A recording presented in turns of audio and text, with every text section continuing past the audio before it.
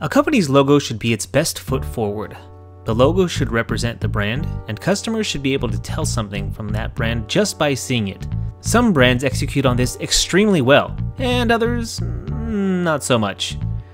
Today we're going to look at the 5 best logos for motorcycle companies around the world. These logos have been judged on their simplicity, brand recognition, and timelessness. But before we dive in, observe the link at the top of your screen right now for a whole slew of my previous moto vlogs.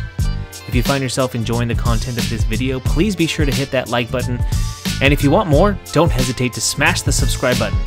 Now, on with the video. Zero. This logo scores high on the simplicity scale.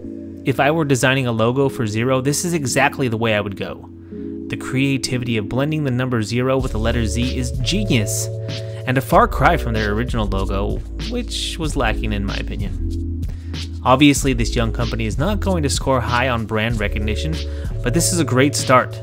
And as far as standing the test of time, this logo is a home run. BMW.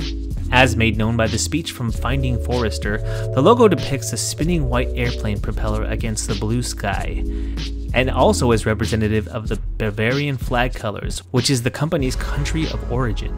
The logo is simple, but has become synonymous with luxury, quality, and style.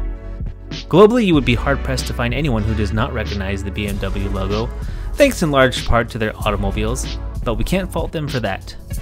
The company itself that originally started with airplanes was founded in 1913, and the logo was introduced in 1929, so yeah, that's held up pretty well.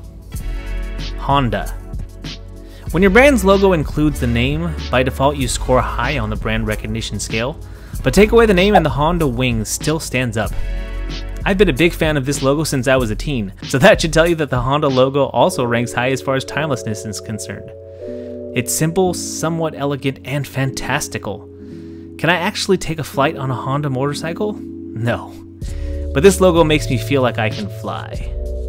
Harley Davidson. The old bar and shield has been through a lot. This one may have scored higher for me, but the fact that they've over-branded loses points in my opinion. Let me put it this way. When you slap your brand on anything and everything, it loses its punch.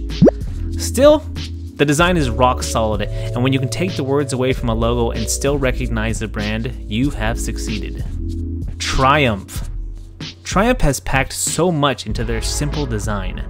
The Union Jack, the letter T, and the brand's name are all there, but still the logo is basic, sharp, and classy. It also scores bonus points for being extremely versatile. Much like the Nike swoosh, the logo feels at home on all of Triumph's models. It just looks like it belongs on a sleek machine like the Rocket 3, a rugged monster like the Tiger, and even the sharp lines of the Daytona. Be sure to leave your favorite logos in the comments and let me know why they would be included on your best logos list. Now that's all I've got for you today. Again, if you like this video, make sure you signify so by hitting that like button. And if you haven't already, smush that subscribe button. If you are out there riding, be safe. And if you're not riding, get riding. I'm that one guy, and I am out.